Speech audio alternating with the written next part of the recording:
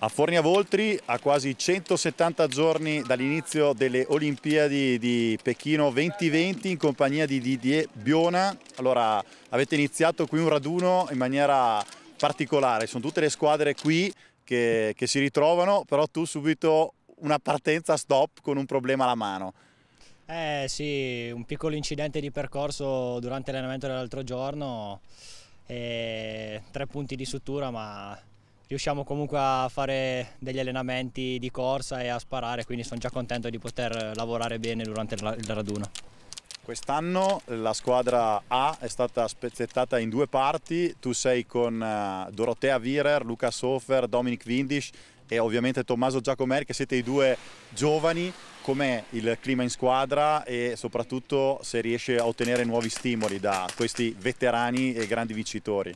Ma il clima è molto molto bello perché alla fine siamo un bel mix di giovani e più esperti e riusciamo comunque a stimolarci a vicenda e a trovare tantissimi stimoli sia al tiro che dal punto di vista atletico.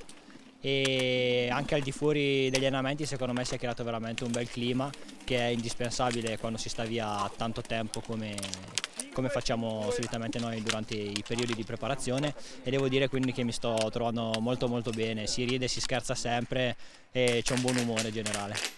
Adesso si sta preparando una delicata stagione, la stagione olimpica, tu lo scorso anno hai per la prima volta fatto l'intera stagione di Coppa del Mondo, che insegnamenti trai da questa tua prima esperienza? È un'esperienza che mi ha insegnato molto, soprattutto eh, dal punto di vista di come vanno gestite le gare perché mh, avendo tante gare ravvicinate è importante saper gestire bene le fasi di recupero e le preparazioni alle gare e mi ha insegnato molto eh, da questo punto di vista. Poi mi ha insegnato anche che per stare ad alti livelli devi sempre essere al top e sbagliare veramente poco perché il livello sta diventando sempre più alto e veramente è molto difficile eh, stare, stare in mezzo a agli altri atleti se, se non sei al top.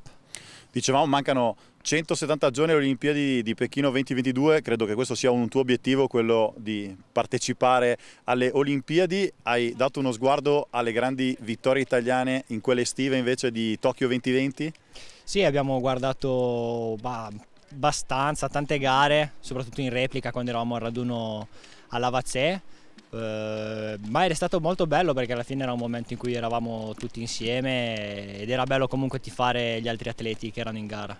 E qual è la gara che ti ha lasciato più il segno di queste Olimpiadi? Beh, i 100 metri di Jacobs sicuramente, l'abbiamo guardata insieme io e Luchi e non ci credevamo quasi che, che, che fosse successo. Ok, quindi l'obiettivo per la prossima stagione comunque quali, se ci sono, quali sono? Ma il mio obiettivo sarebbe quello di poter gareggiare di nuovo un'intera stagione in Coppa del Mondo prima di tutto. Sarebbe un, un obiettivo importante poter fare un'altra stagione per avere ancora più esperienza e poter crescere ancora. Poi c'è questo piccolo sogno delle, delle Olimpiadi, però la strada è ancora lunga e bisognerà vedere. In generale spero di comunque di riuscire a, ad avere un buon livello durante tutta la stagione, penso che sia l'obiettivo più importante. Ok, allora in bocca al lupo e buon recupero. Grazie, Crepi.